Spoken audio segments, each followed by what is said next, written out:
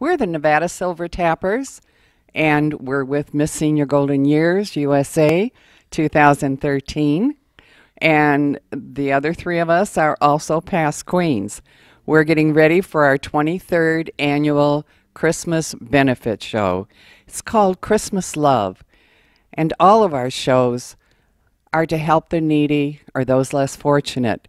This year, we're going to especially extend a warm welcome to the DAR, Nye County Coalition, the VFW Food Bank, and RSVP.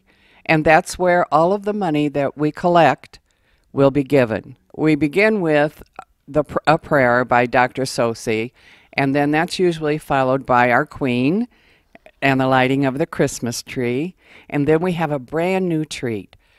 The Nevada Silver Tappers and Miss Senior Golden Years Ambassador Choir will be performing for the very first time. We have a young man, a gentleman, who has traveled the world, and he's a steel guitarist.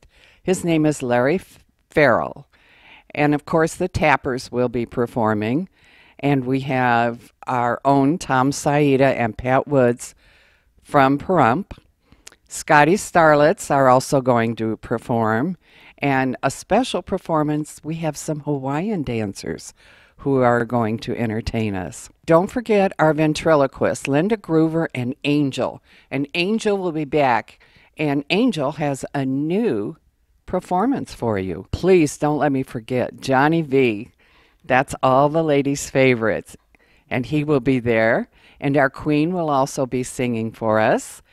And she is wonderful. Wait till you hear her voice. Then we have some other singers. Bobby Judson, who has traveled all over the world singing, and he's going to be accompanied by Laurie Stabenow. It's going to be a wonderful show, and our signature dance will conclude the performance, and that's Wooden Soldiers. We are all directed, all of this is directed and produced by BJ Hetrick Irwin. She's done it, this is our 23rd year, and she produces, she directs, and teaches and sometimes even yells a little bit. but we want to wish everybody a blessed Christmas or whatever holiday it is you'll be celebrating. Well, you've just heard about our wonderful show that's going to be held this Sunday at Saddle West.